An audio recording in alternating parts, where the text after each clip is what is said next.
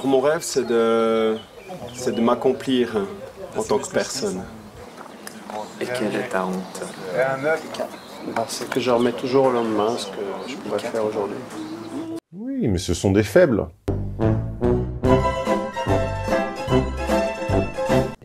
La vidéoscopie, c'est votre moment préféré de la semaine, et cette semaine, nul doute que ce sera aussi le mien, car il est question d'un cercle d'hommes en grand besoin de, en grand besoin de, eh bien on va le découvrir tout de suite, sans plus attendre. Le rendez-vous est fixé dans ce lieu insolite, quelque part dans le Jura vaudois. Hello Pierre, bienvenue. Si tu trouves une place, ça va les tipis, il y a de la place, ouais.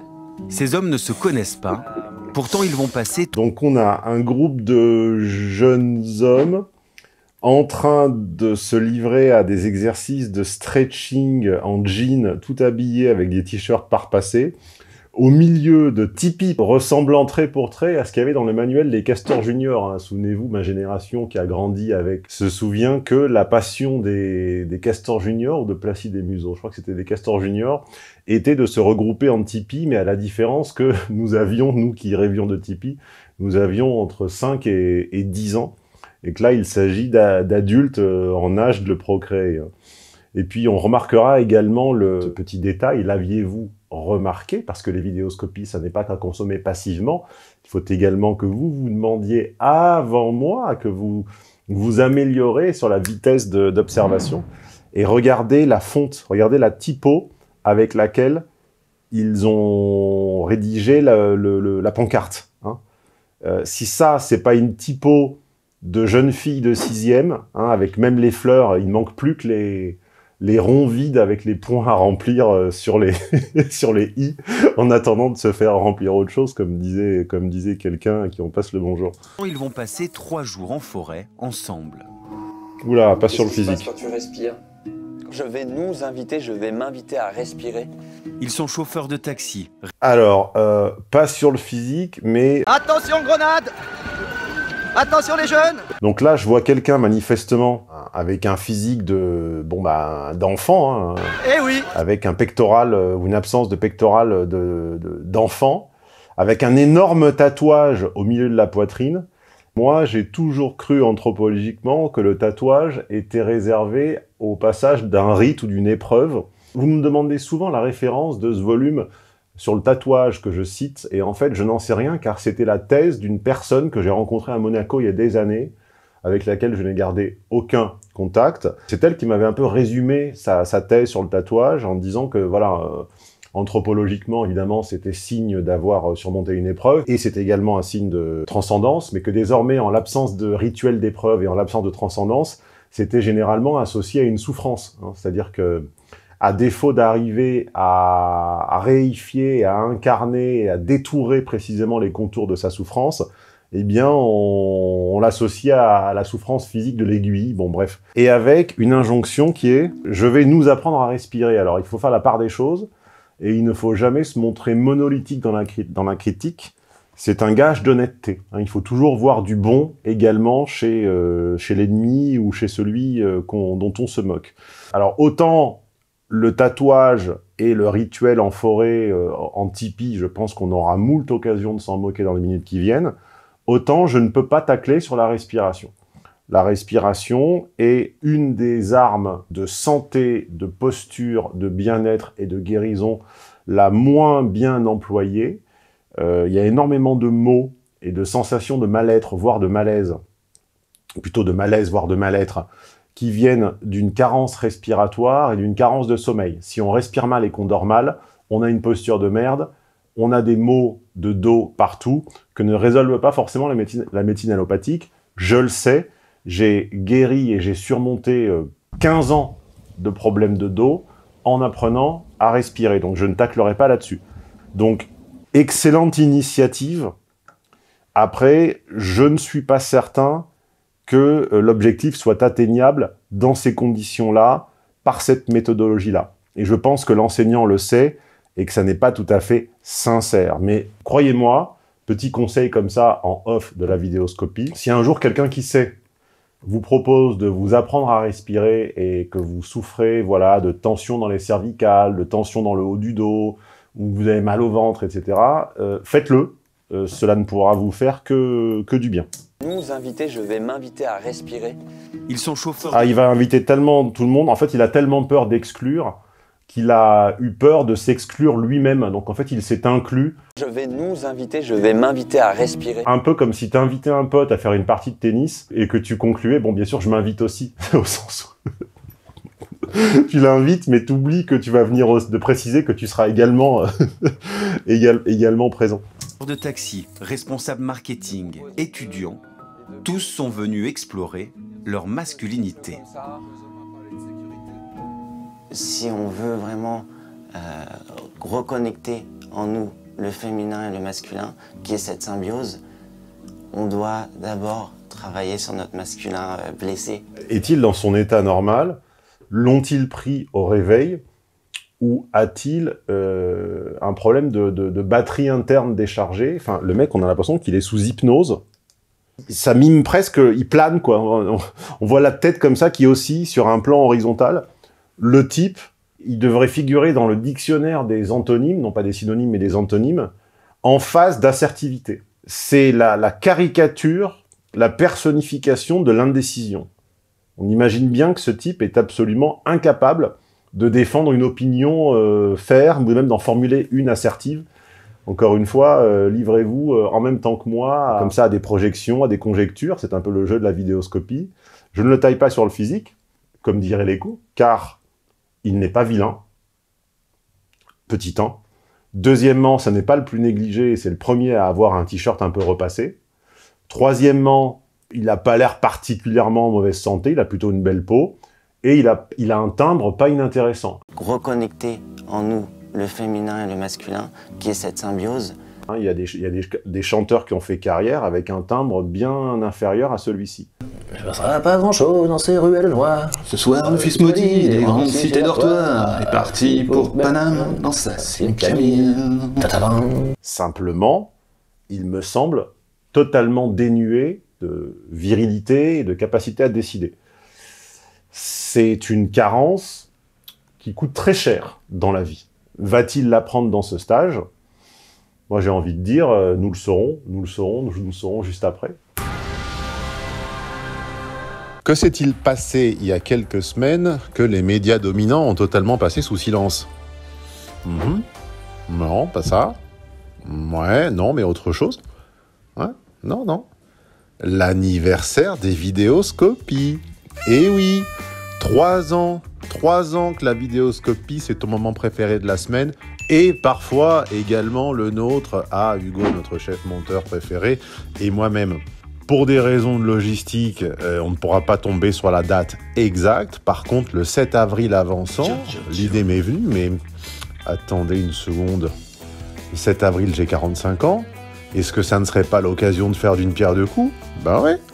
Le 7 avril prochain à 20h, double anniversaire, les 45 ans de Bibi, les 3 ans et quelques semaines de vidéoscopie. Ça sera en plus gratuit. Bah ouais, question d'élégance. On fait pas payer les gens pour venir à son anniversaire. Il faudra juste, juste venir avec un petit cadeau. Voilà. Lien vers la liste d'attente. Ah bah oui, à 70 places seulement. En plus, c'est gratuit.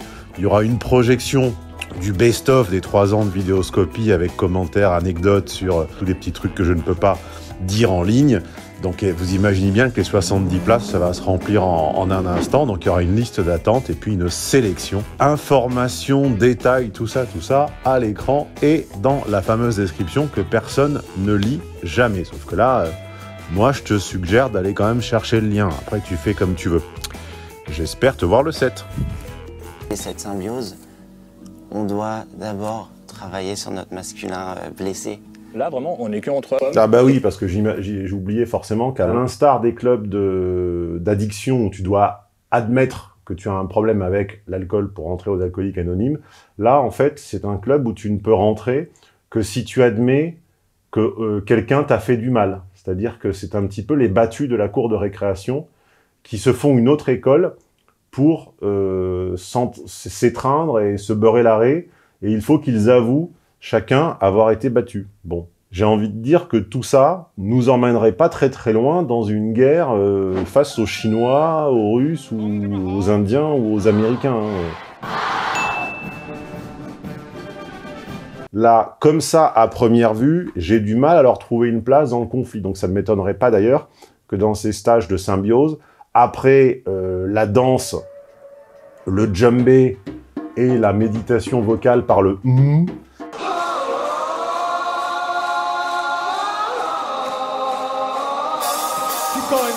il y ait quelques stages d'affirmation par le, le non, le conflit, ou apprendre à dire non, car en fait, c'est pas de la divination, c'est que ça va tout le temps comme ça. Et les films s'en moquant sont plutôt faciles à faire et plutôt bons. On citera la série La meilleure version de moi-même, de et avec euh, Blanche Gardin, qui est excellente sur Canal+, qui commence mal le premier épisode, qui traite des, coliques et de la... Bon, tout ça, c'est pas très drôle. Mais dès qu'elle part en retraite dans la campagne avec ses, avec ses, ses corolégionnaires, c'est à pleurer de rire. Et il y a un film très raté, mais où Lucchini a comme ça des petites saillies de brio, qui s'appelle La cloche à sonner. Le, le film, euh, non pas deux, mais avec Fabrice Lucchini, qui était sans doute son, son pire navet, mais dont j'ai tiré la célébrissime scène du lâche-moi là. Tu es gentil, tu me lâches la p***, s'il te plaît. Tu me lâches la p***. Lâche-moi la p***. et qui, pareil, euh, met en exergue des, des gens sans transcendance. C'est-à-dire les gens qui, avant, dépassaient et survivaient à leur absence de vocation intérieure, tout simplement en allant à la messe, en lisant la Bible et en se comportant tels des sujets serviles du Seigneur, et bien maintenant qu'il n'y a plus de Seigneur, plus de messe, plus de Bible, et qu'ils ne- et qu'ils ne sont les sujets de personne, ils se rendent compte qu'en fait, ils ne sont ni les sujets de leurs femmes, ni de leurs maris, ni de leurs parents, ni de leurs enfants, et que comme disait Becbélé dans son roman en Russie, ils sont tellement libres de tout qu'en fait ils sont terrorisés comme des nourrissons au milieu de la foule inconnue. Et voilà ce que m'évoque Ricardo, c'est un petit nourrisson poilu qui a très probablement dû se manger un certain nombre de râteaux et d'échecs féminins et qui, euh, de guerre lasse, vient chercher le réconfort de ses pères dans un tipi. Voilà. Et le fait qu'il n'y ait pas de femmes, il n'y a pas de Voilà, tiens. concurrence, il n'y a pas... Je, je promets, alors je suis désolé, vous n'allez pas me croire, je savais que Ricardo, à un moment ou à un autre, allait évoquer les femmes et qu'il n'allait pas les évoquer. Ricardo, c'est pas un tombeur, hein. c'est pas un donjon. hein. Il en a pas beaucoup brisé des cœurs, Ricardo. hein. des cœurs, il y a autre chose un peu plus bas d'ailleurs. de, de petits coqs qui vont apparaître au milieu, il n'y a pas... Mais on peut parler librement, bah, typiquement de sexualité. C'est compliqué de parler de sexualité dans des groupes où tu es entre hommes et femmes. Mais t'as pas à en parler en un fait. stage aux aires de week-end initial. La sexualité, anthropologiquement, a été le domaine du non-dit. Pourquoi est-ce que les organes reproducteurs, c'est-à-dire les parties génitales et la poitrine, sont masqués chez les hommes et chez les femmes D'ailleurs, pas chez les hommes, car la poitrine n'est pas reproductrice, enfin, elle ne fait pas partie de l'allaitement du bébé. Si elle l'était, elle serait masquée également dans nos sociétés occidentales. Pourquoi est-ce qu'on l'a fait? Pour bien marquer que, comme dit mon pote Grégoire, le making-of de l'enfantement, c'est-à-dire le, making-of de- des enfants, est en fait quelque chose qui ne regarde que les intéressés. Il n'y a que dans une société en, voie de dégénérescence la sexualité est un, sujet de journal de 20 heures ou de documentaire récurrent. Ça n'est pas normal. C'est un sujet qui fait partie des derniers sacrés, des derniers tabous, et qui requiert même un talent de la métaphore inaccessible au commun des mortels. C'est-à-dire que tout le monde n'est pas Gainsbourg, et tout le monde ne peut pas dire euh, jusqu'au calice d'Alice Carroll en parlant d'un certain petit bouton. Il faut du talent pour parler et penser sexualité sans exprimer ses névroses. Voilà. Tout ce que j'avais à dire sur le sujet. initiatique, sans alcool et sans viande. Bah, bien sûr, où bah, ils tiens. vont tout faire pour devenir de meilleurs hommes. Donc en fait, donc ça veut dire que l'alcool et la viande rendent mauvais. La construction de cette virilité hétéronormée est précisément ce qui nous envoie dans le mur. Parce que ça consomme de la viande, parce que ça fait des grosses voitures, parce que ça aime euh, la conquête, les jeux de guerre, la violence, etc. Donc ce qui veut bien dire que nous sommes dans une orthopraxie, c'est-à-dire dans une injonction slash interdiction de consommer certains aliments, ce qui est le propre des religions. hein. Toutes les religions monothéistes ont des interdictions de consommation, alors que, que ce soit du porc euh, 7 jours sur 7, du poisson un jour sur 7, de l'alcool pour euh, on sait qui, etc. Et donc on voit bien que il y a une religiosité qui s'ignore dans ces stages de pseudo-développement personnel qui ne sont qu'en fait des substituts à la transcendance qui, manque à ces gens. Si vous êtes à ce point en manque de transcendance, à la limite, allez communier dans les endroits dédiés à cet effet, au moins c'est beau, quoi. Allez à l'église, allez à la synagogue, allez à la mosquée. Il y en a des magnifiques, beaucoup d'ailleurs, pas toutes, certaines sont en béton horrible, mais il y en a des magnifiques. Et au moins, vous aurez enrichi votre journée euh, d'un élément sensible. Voilà. Euh, vous ne serez pas allé communier avec vos t-shirts faits en, en Asie là, par des esclaves dans un petit bol euh, où il aura acheté de l'encens chez, euh, chez Nature et Découverte. Quoi. Vie, Benjamin était journaliste. Il y a dix ans, ce franco-suisse participe à son premier groupe d'hommes. C'est la révélation. Et aujourd'hui, c'est lui qui anime cette rencontre. Mais Benjamin n'était pas que journaliste. Benjamin était anorexique. Enfin, je suis désolé, pas sur le physique. Ficello, le fromage trop rigolo. Benjamin a un léger problème de sous-alimentation. C'est pas possible. C'est la révélation. Et aujourd'hui, c'est lui qui anime cette rencontre. Rien à voir avec ces séminaires à l'américaine pour hommes en quête de virilité. Ici, bah, tu ne peux pas... Ça, c'est une prétérition. C'est-à-dire, tu nies que ce soit l'émanation d'un truc américain, mais alors si ça ne l'était vraiment pas, tu ne, tu ne l'aurais même pas mentionné. Bah oui. Ici, c'est un peu un stage anti-macho.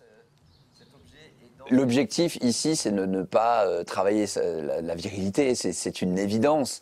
Euh, L'objectif, il est plutôt d'oser ressentir quand depuis petit en Occident euh, ou dans ma famille, dans mon éducation, j'entends euh, pas pleurer, Hein, serre les dents, ça va passer, sois performant, euh, euh, que ton érection dure le plus longtemps possible. Et. Donc les gens qui l'ont éduqué, donc a priori on peut supposer ses parents, l'ont enjoint à bander le plus longtemps possible. Donc dans ce cas-là, ça veut dire qu'il s'agit d'inceste et il faut le dénoncer. Enfin je sais pas, il y a quelque chose. Euh... Dites en commentaire si vos parents se sont préoccupés de votre érection. Moi j'ai l'impression que ça n'est pas tout à fait normal. Quant au reste des soi-disant injonctions sociétales, le type, je ne sais pas s'il s'en rend compte, débite mot pour mot le discours néo-féministe de ces 30-40 dernières années, mais qui ne correspond en fait à aucune réalité concrète. Les parents normaux sont censés vous donner les moyens et la motivation d'avoir des bonnes notes à l'école, au moins pour accéder aux environnements professionnels qui seront euh, rémunérateurs symboliquement et fiduciairement, la proportion des parents et des éducateurs qui martyrisent l'enfant à la performance, je suis désolé, c'est un sur, sur des centaines, sur des milliers. Alors quand on lit les biographies des sportifs, le petit Agassi, par exemple, disait dans sa bio, que j'avais lu il y a quelques années dans l'avion, euh, que voilà, son père était très dur, euh, et qu'effectivement, il avait un rapport d'amour-haine à son père, car sans cette rigueur militaire à l'entraînement, bah, il ne serait jamais devenu numéro un mondial, mais en même temps, il en a beaucoup souffert. Mais ça, c'est ultra, ultra minoritaire. Je ne pense pas que le mal qui soit en train de scier les fondations sur lesquelles l'Occident avait assis sa supériorité technique et, civilisationnelle sur le reste du, du, du monde, je ne pense pas que ces fondations soient sciées par l'injonction à la performance. C'est quoi l'injonction à la performance d'un peuple qui est monolingue, qui ne parle qu'une seule langue, qui est nul en maths et qui est l'avant-dernier plus nul en maths du monde devant le Chili, qui se fait doubler en termes d'indice de qualité de vie dans à peu près tous les classements, euh, et qui, pour être bon en sport, recourt à l'immigration. Elle est où l'injonction à la performance, Coco, là hein? Pas dans ton t-shirt, en tout cas. Hein? Et que tu assures dans la vie, euh, à tous les niveaux. Et euh, ça, c'est juste inhumain. Durant le stage, bah, si c'est si inhumain, alors pourquoi est-ce que la population n'a jamais vécu aussi longtemps? Et si, si, si c'est inhumain, pourquoi habitue le pays qui est euh, premier sur la plupart des indicateurs en termes de revenus, en termes de santé, en termes de... C'est bien parce que des êtres humains, comme tu dis, ont mis en place une forme de démocratie participative où tu vis pas si mal. Alors que le mec est en train de te décrire les conditions d'existence d'un intouchable indien, alors que le type vit dans la démocratie la plus avancée, la plus riche du monde. C'est qu'à un moment, de qui te moques-tu, euh, François, ou je sais plus comment tu t'appelles là? Comme dans cet exercice où les hommes incarnent à tour de rôle les hontes, puis les rêves des autres, afin de s'entraider. T'es pas légitime, et t'as pas confiance en toi pour aller vers tes rêves. Oh my god. Ça, ça vibre pas, je, je je suis fébrile quand j'avance. Et je, je regarde même pas mon rêve. Quoi. Euh, je demande, alors cette fois-ci, je vais pas le commenter. Je vais demander au public féminin si elle trouve le moindre charme ou le, le moindre détail digne d'intérêt dans euh, ce, que, ce que sont en train de faire ces hommes-là. Ça vibre pas, je, je, je suis fébrile quand j'avance. Et je, je regarde même pas mon rêve. Quoi. Je, le vois même pas. Et que ces femmes me disent si ces hommes-là se renforcent en puissance, donc c'est-à-dire dans le langage fé- féministe on dirait s'empower entre eux, ou si ces hommes sont en train de euh, se confiner au ridicule et à l'exclusion sociale. C'est-à-dire que vous savez qu'un type a fait partie de ce groupe-là et s'est livré à ce jeu-là, a-t-il gagné ou perdu des points à vos yeux? Voilà, je, je ne commenterai même pas, je laisserai les femmes s'exprimer. Est-ce qu'il y en a un de ces trois-là ou de ces quatre-là qui vous ferait mouiller? Ouais. Et si oui, combien? Je, je le vois même pas. Mon rêve, c'est de rester connecté et d'être euh, en confiance dans ma créativité. Alors mon rêve, c'est de, c'est de m'accomplir en tant que personne. Et quelle est ta honte c'est que je remets toujours au lendemain ce que je pourrais faire aujourd'hui. Oui, mais ce sont des faibles. La procrastination est une faiblesse, comme la timidité d'ailleurs, et c'est parce que je les traite différemment de tout le monde, c'est la raison pour laquelle à la fois mon programme timidité et mon séminaire euh, procrastination qu'on montrera à l'écran sont, font partie de mes best-sellers. hein. Je, je n'en parle jamais et j'en vends, euh, vends des dizaines tous- tous les mois depuis, depuis des années, simplement parce que euh, j'invite à aborder cette, euh, cette problématique, non pas sous l'angle de l'autocommisération, mais sous l'angle de euh, une partie on peut la vaincre et on se sort un doigt et le reste on fait en dépit. Voilà, je vous laisse découvrir le déroulé exact sur la page de présentation de ces, de ces deux produits. Mais euh, globalement, en fait, je n'avais pas encore vu, même dans le stage où ils se font des, dans le stage où ils se faisaient des câlins, en anglais. Salut, est-ce que tu voudrais que je te fasse un massage de la nuque? Ça, dans un cadre non autorisé, ce type-là, avec cette voix-là et cette dégaine-là, au bureau, ça c'est du harcèlement. Et ça, ça se finit au RH. hein. Parce que au moins dans le stage où ils se faisaient des câlins, ils avaient le courage d'aller vers des femmes. Alors bien sûr, c'était des femmes qui étaient toutes réceptives, car elles étaient elles aussi désespérées, mais au moins ils avaient ce courage d'aller euh, se planquer sur les nichons d'inconnus euh, en leur faisant un câlin en position fétale. Là, ils ont même pas le courage, et en fait, ils se parlent entre hommes de, de leurs échecs, et en se les simulant, en se les représentant. Tout est de l'ordre du chiquet, tout est de l'ordre de la mise en scène. Vous me faites un peu de peine, vous êtes aussi pathétique, mais moins drôle que les élèves de la copine de Rokaya Diallo, parce que au moins, il y avait du boule, au moins, ça twerkait, et au moins, ça, ça avait la danse de Saint-Guy, mais tu sentais que euh, cette danse de Saint-Guy pouvait présenter dans des circonstances particulières un certain charme. hein. Encore, hein, on nous fait chier avec ça. Et ensuite, Donc là, je vois euh, le fessier de la prof avec un parterre de 12 euh, élèves euh, de sexe féminin en position de la levrette euh, en train d'osciller du bassin. Et effectivement, je ne vois aucune allusion sexuelle. hein. C'est bien connu, c'est comme ça que, fonctionne le lavage de cerveau. Ça consiste à dissocier ce qu'on voit et ce qu'on pense. hein. Ce qu'on voit n'importe importe peu prime euh, la certitude. Là, le problème, c'est que vous n'avez aucun charme, messieurs. Désolé. hein. Puis si vous ne me croyez pas, demandez aux femmes, elles vont dire en commentaire si vous avez du charme. Ma honte euh, de pas m'engager dans la vie. T'as vraiment confiance en toi. Mais ça, c'est une absurdité, encore une fois, néo-féministe, qui est que les hommes qui leur échappent sont des hommes qui ne veulent pas s'engager. C'est une énorme connerie, car en fait, euh, c'est simplement des hommes qui sont pas amoureux d'elles. Enfin, j'ai déjà expliqué 50 000 fois. Et alors là, pas sur le physique, mais non, là, je ne tiens plus, je suis désolé. Il y a un type qui a l'air d'avoir, quoi, 30, 35, 40 ans, et qui a un bide de femme enceinte ou de vieillard, quoi. Il y a, il y a- il y a un moment, c'est pas possible, quoi. C'est-à-dire que tu ne peux rien faire sans respect de toi. Ça, c'est des mecs qui repassent pas leurs vêtements, qui font pas leur lit, qui ne font même pas 10 ou 15 minutes d'entretien. Je ne parle pas de sport. Je parle d'un minimum d'entretien physique par jour, euh, qui ne savent pas se faire à manger. Enfin, ce, ce- ce sont des locs, hein. c'est terrible. hein. T'as le gars incroyable. Tu peux croire en toi. L'admire.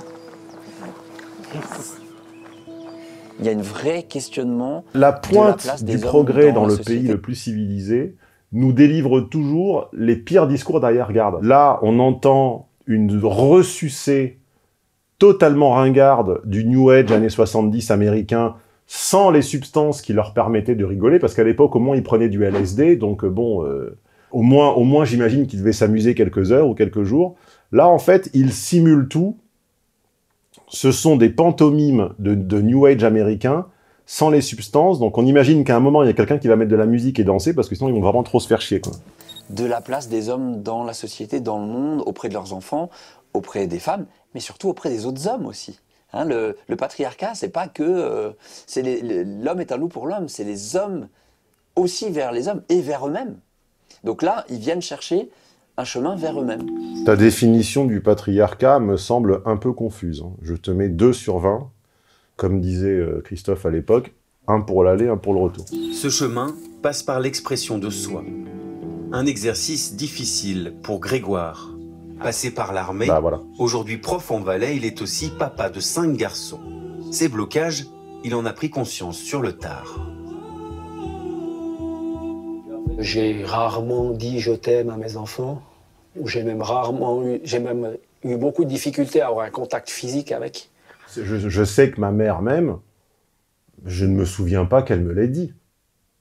Ça me dit rien. Je crois qu'elle a dû l'écrire d'une fois ou deux, mais oralement, je ne m'en souviens pas. Mais j'ai aucun doute sur la question. Qu'est-ce que ça change?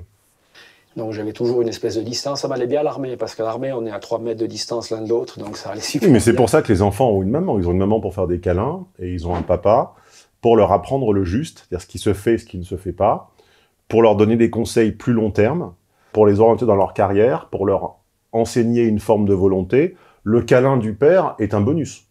Mais on vit très bien sans. Tant que le père ne te bat pas, ne t'humilie pas, pourvoit au fait que tu puisses achever tes études et te met des vêtements sur le dos, euh, l'essentiel est réuni, quoi. Après, bon, tout le monde n'a pas le don euh, de la câlinerie, ça, ça me paraît pas très grave. Alors son épouse l'a gentiment poussé à s'interroger. Ça fait longtemps que euh, madame euh, se développe, ou en tout cas fait du travail sur elle, et puis qu'elle me propose plein de choses. Puis je pense tout à coup, c'est un moment donné où il y a eu un, déclic, et puis je me dis, tiens, il y a eu un cercle d'hommes qui a démarré à Sion il y a 2-3 ans en arrière, et puis je me suis dit, ah, je vais aller voir ce que c'est, et puis c'est comme ça que le déclic qui s'est fait. En fait, c'est une thérapie de couple. C'est-à-dire que sa femme étant euh, cliente du développement personnel et de ce qu'on appelle la happycratie, hein, euh, évocation du livre homonyme, eh bien, euh, un peu comme un phénomène de, de MLM, de multi-layer marketing, il faut que tu recrutes. Voilà. Donc en fait, c'est bien une dérive sectaire de sans cesse devoir recruter. Comme tu apprends à être euh, militaire, tu apprends à être euh, sensible. Je pense que j'ai une, sensibilité que je gère pas bien. Il allait, il allait dire j'ai une hyposensibilité, bah oui, ça arrive. Il y a des hommes qui ont une hypersensibilité, il y a des hommes qui ont une hyposensibilité. Encore une fois, bah, on fait comme Sioran disait, euh, la, la bonne résolution du 1er janvier, c'est de s'attaquer à ces démons, c'est de s'attaquer à ce qui fait peur.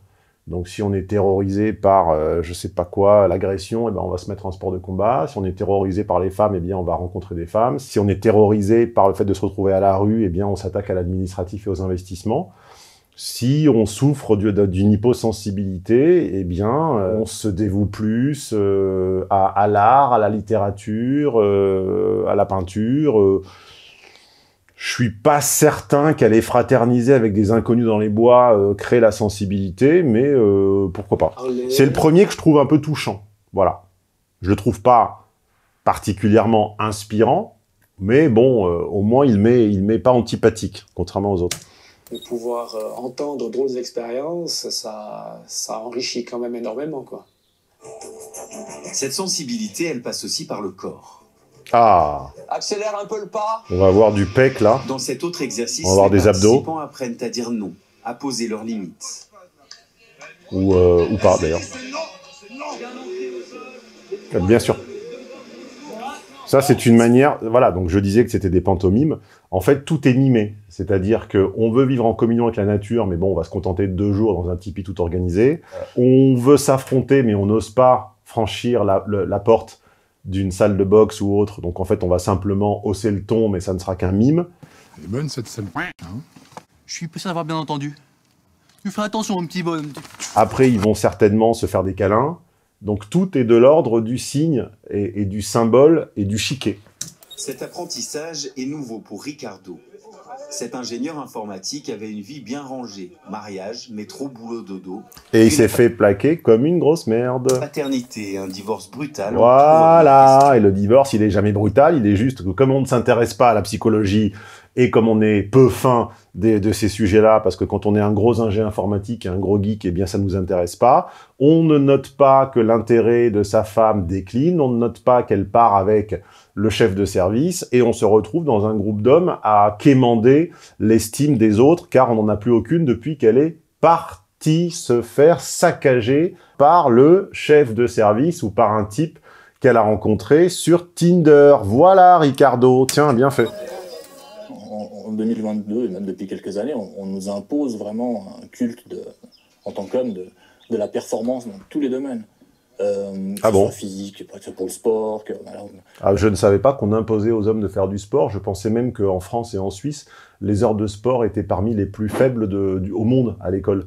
Je pense plutôt, Ricardo, que l'homme euh, avec qui ton ex-femme t'a trompé était plus sportif que toi. C'est ça la traduction. même si tu as un travail, il faut que ce soit un truc qui paye bien. Je pense également, Ricardo, que l'homme avec qui elle t'a trompé avait un plus gros salaire que toi. hein, il faut que tu sois, tu sois propre sur toi. Je pense que l'homme avec qui elle t'a trompé était mieux habillé et mieux apprêté que toi. Ah, il faut que tu, ailles- tu te lèves à 4 heures Je traduis Ricardo, hein, l'homme se levait plus tôt, du mat pour aller faire ton running, puis ton donc, il est, donc confirmation qu'il était sportif. fitness, et puis après tu vas au taf.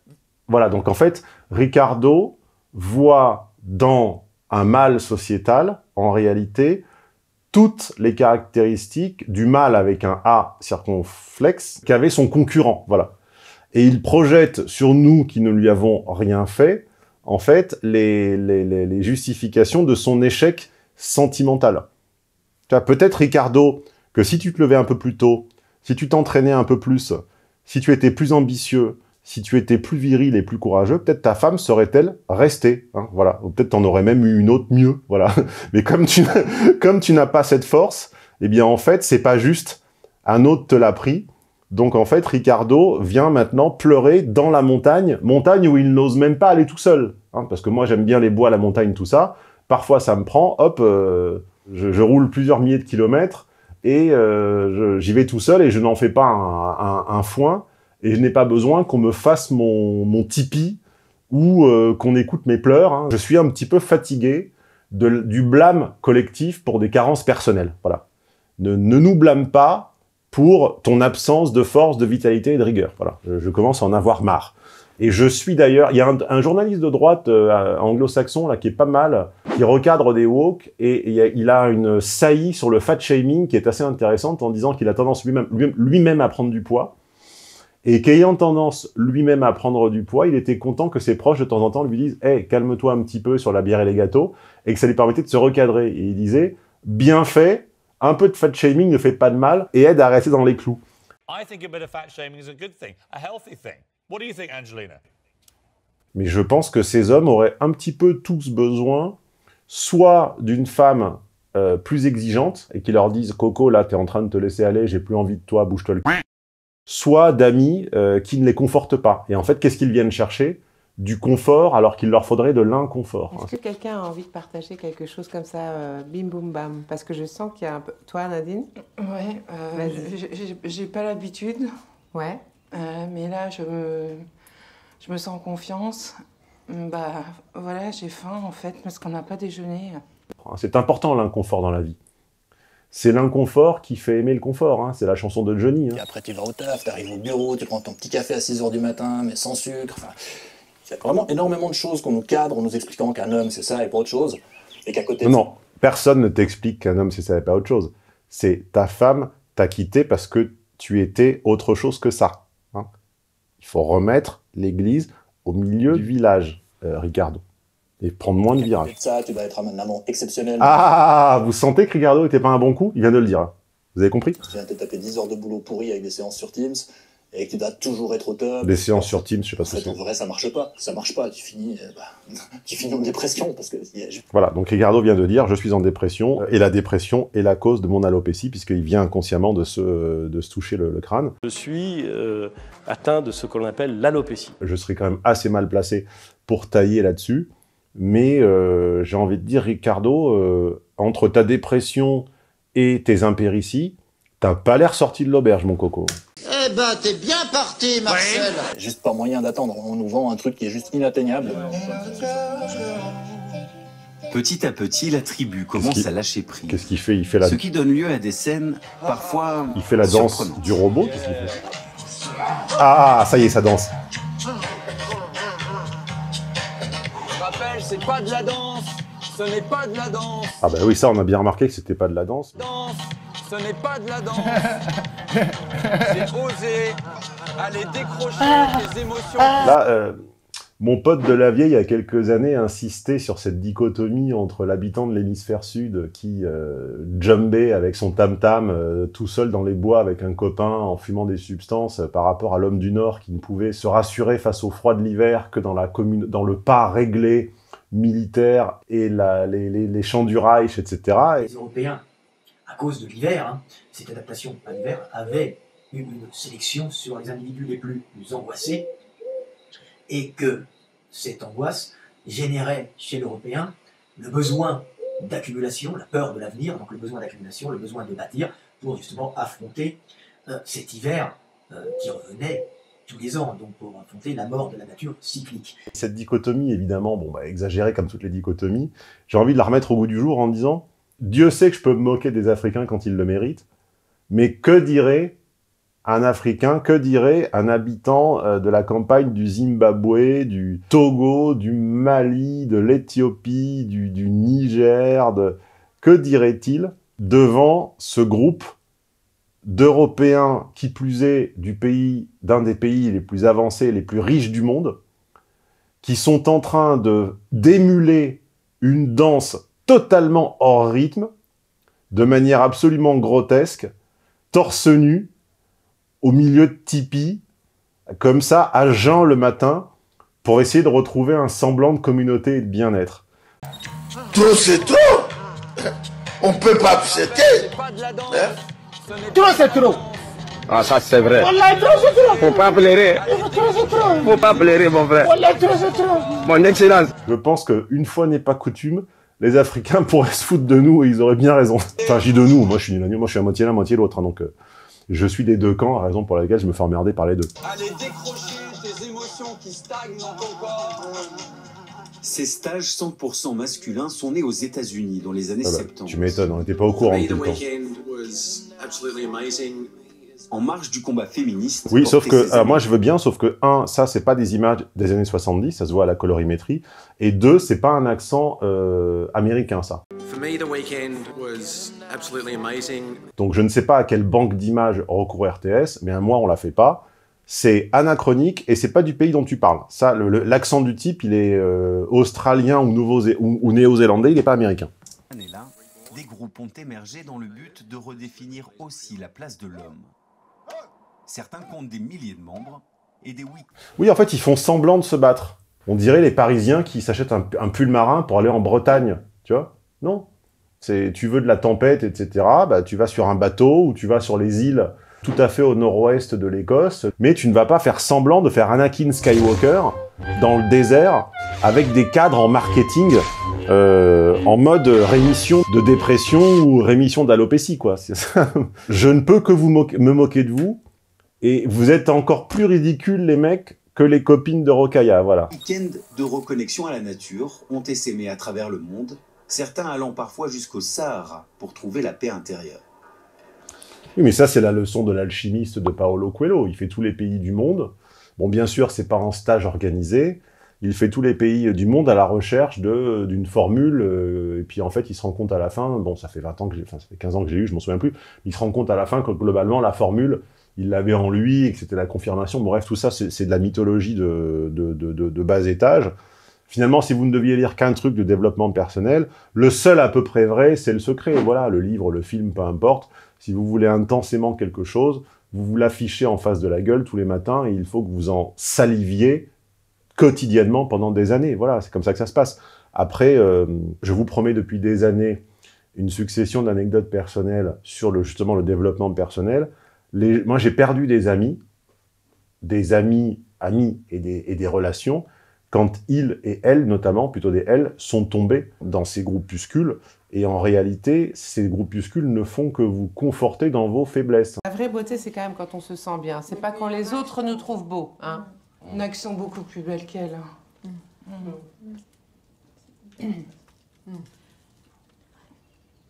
Je me rappelle cette, euh, cette femme dont le prénom rimait avec faiblesse, en deux syllabes, et qui était allée comme ça en stage de développement personnel dans le désert de je ne sais où, euh, au Moyen-Orient. Et en réalité, plus elle le faisait, plus elle, plus, plus elle était auto-centrée. Et le jour où il m'est arrivé un petit souci euh, médiatico-juridique euh, il y a quelques années, eh bien, elle n'avait montré quasiment aucun intérêt et aucune empathie. J'avais été abasourdi par son incapacité à comprendre ce qui m'arrivait, qui était quand même très très pénible. Par contre, elle allait apprendre l'empathie dans le désert. Et j'avais envie de lui dire, mais euh, tu vas chercher bien loin quelque chose que tu es incapable de voir quand ça arrive au type que tu laisses entrer en toi. hein. que des médias qui ont les moyens de RTS continuent à propager des messages aussi saugrenus et aussi dangereux ne peut être le fruit du hasard. C'est une intention, c'est un projet, et c'est une énième fois l'extension du domaine marchand à tout. Et donc, euh, c'est la, voilà, on a peut-être euh, rempli tous les cabinets des psychothérapeutes, et bien désormais, comme il n'y a plus de place, il faut envoyer les gens en retraite dans la brousse pour aller écouter du djembé euh, torse nu. Voilà. Tu te dis, mais finalement, euh, une fois que tu enlèves les masques, ben, je suis qui? Qu'est-ce qui reste? C'est quoi le, le moi qui est au fond?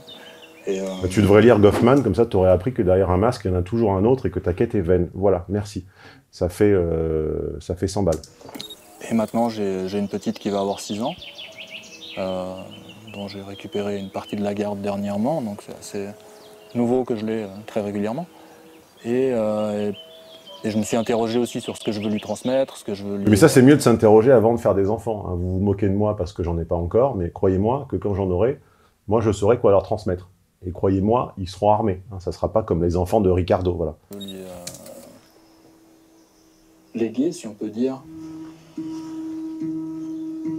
Pour susciter cette introspection, Donc voilà, donc il y a toujours un petit côté sacré. J'avais dit tout New à l'heure- diront certains. Bon, bien sûr, mais ça, on le sait. de- J'avais dit tout à l'heure que tout était de l'ordre du pantomime. Euh, J'ai dit, ils vont fumer des trucs. Bon, bah là, ils vont rien fumer, mais ils allument quand même quelque chose pour qu'il y ait le symbole de la flamme et peut-être également de la fumée et de l'encens. Mais euh, c'est c'est une, c'est une version végan euh, de l'expérience euh, Jimi Hendrixienne des années 70, en fait. C'est une- un peu une version de nuque du rituel méditatif euh, à l'ancienne.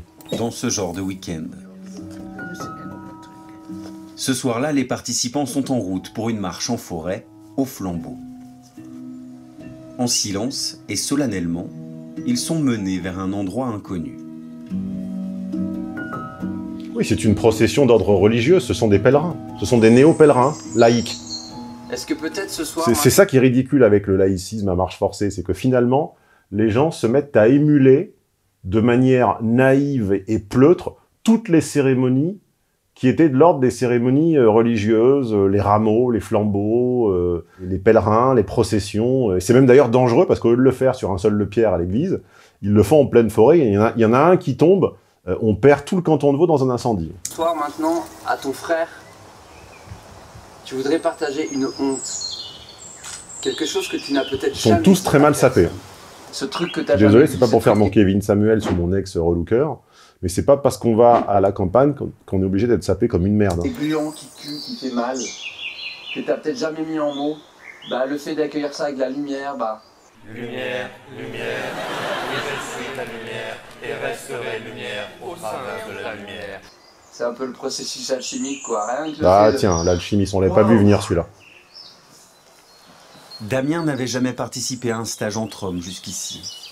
Cet ancien ingénieur, aujourd'hui réalisateur pour le cinéma, se livre à cœur ouvert.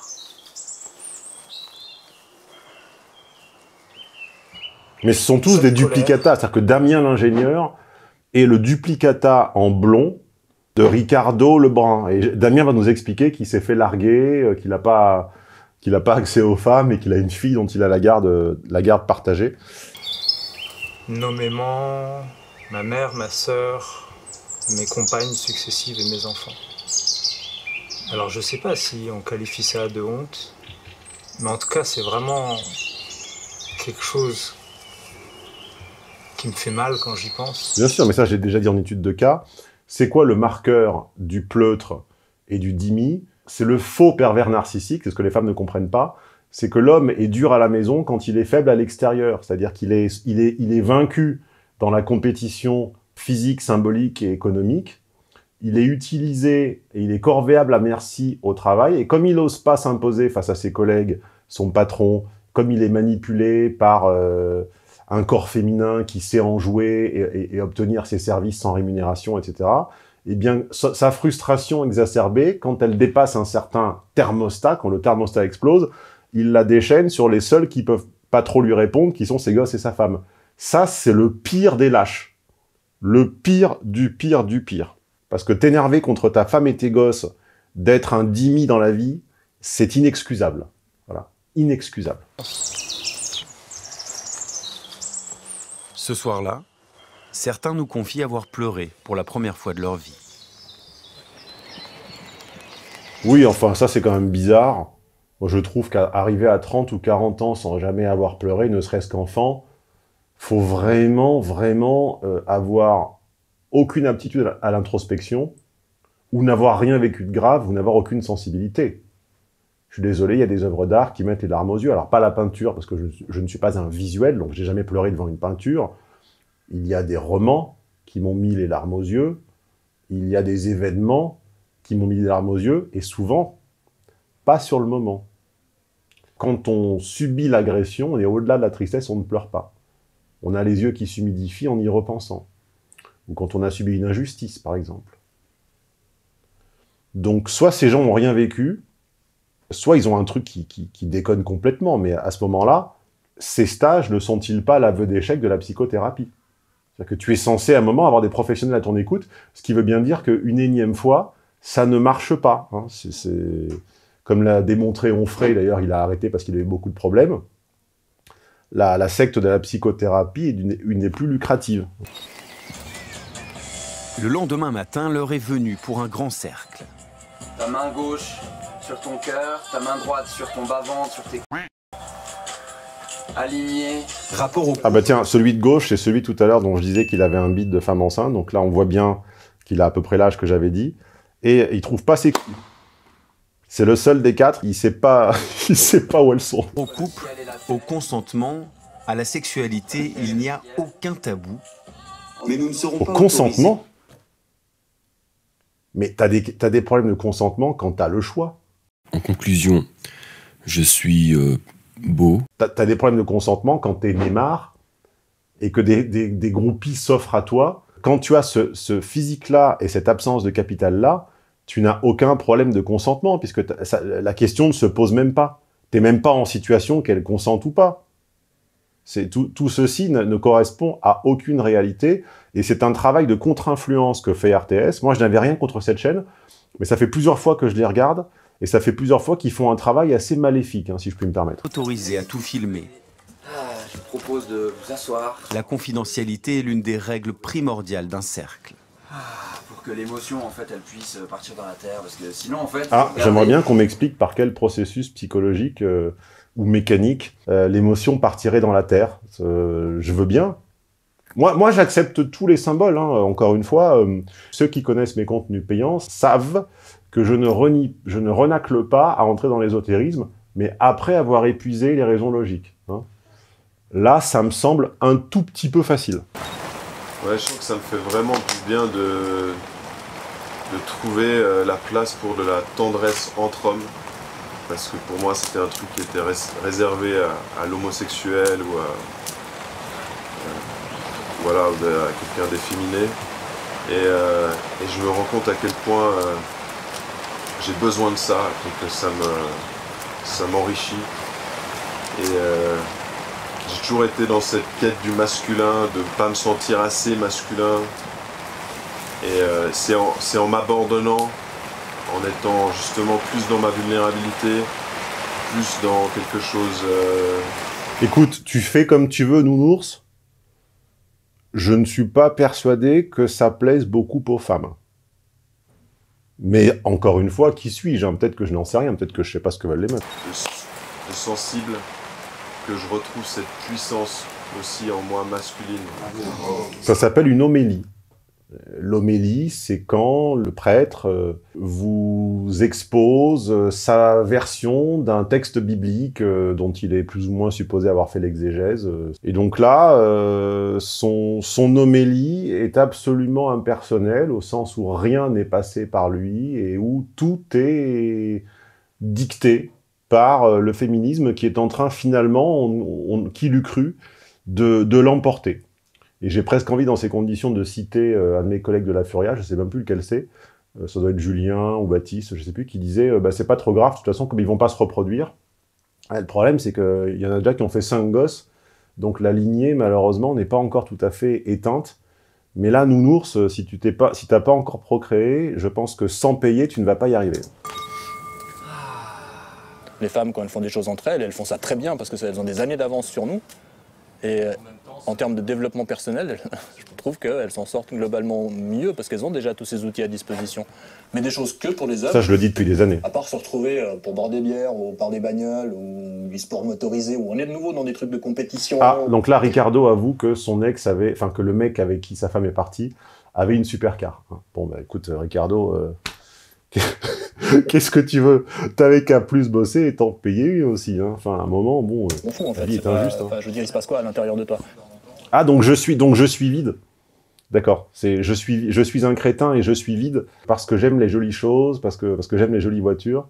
Et ça veut dire que je n'ai pas le, que ça m'interdit de partir en road trip avec des potes. euh.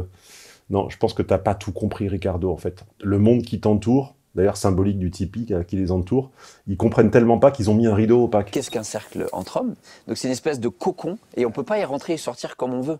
Une espèce de sécurité, de bienveillance, il y a toutes des règles de communication. Ça, tu peux pas en sortir et en rentrer comme tu veux. Alors c'est quoi? Donc en fait, tu détiens les, ces gens contre leur volonté ou comment ça se passe? J'espère bien qu'ils peuvent arrêter, sinon c'est complètement sectaire. Puis pour, pour y rentrer, il suffit de payer, non? C'est c'est quoi cette histoire? Excuse-moi, c'est un mâle ton chien?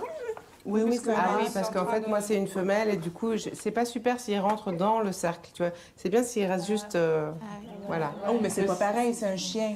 Oui, mais c'est un mâle. Et là, il était un petit peu en train de la harceler. hein. C'est comme si je disais, mes VIP peuvent pas rentrer et sortir comme ils veulent. Bah heureusement que si. Sinon, vous imaginez bien depuis les années qu'il y aurait eu des scandales. Tu peux te désinscrire quand tu veux après la période d'essai, enfin après la période de, de trois mois, et puis tu peux rentrer comme tu veux, il suffit que tu payes. Enfin, à un moment, c'est qu'est-ce que c'est que cette histoire? Et dans ce cercle entre hommes, il se passe quelque chose de magique. Il se passe que par la présence, la présence, hein, je pèse mes mots, des autres, je découvre des choses en moi. Ils sont présents parce qu'ils ont payé.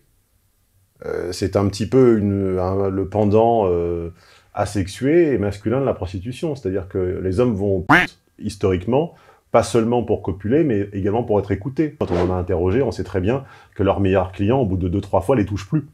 Leurs meilleurs clients leur parlent. Mais euh, est-ce que la présence d'une personne qui est payée pour être là vaut la présence d'une personne qui s'enquiert de votre état de santé euh, j'ai envie de leur demander pourquoi ces gens euh, ont aussi peu d'amis, quoi. Et là, peut-être pour la première fois de sa vie, un homme est entendu dans sa parole. Et il n'y a personne pour lui couper la parole, pour lui donner des conseils. Et je suis pas sûr que même avec son meilleur ami. Mais c'est pas grave de se faire couper la parole, puisque la parole, ça se laisse et ça se reprend.